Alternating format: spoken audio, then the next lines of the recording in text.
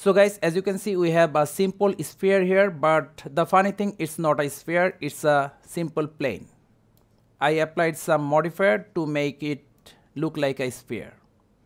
Now in case you don't know, you can apply the modifier deform as a shape key. For that you need to click on this drop down arrow, then select save as shape key.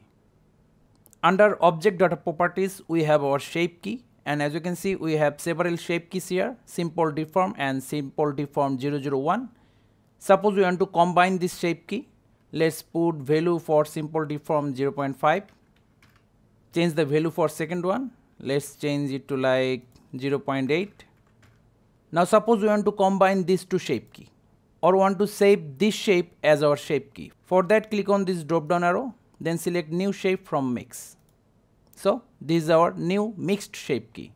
Let's change the previous one to 0 and check the new one. See we have the same shape. So thank you guys for watching. Have a good day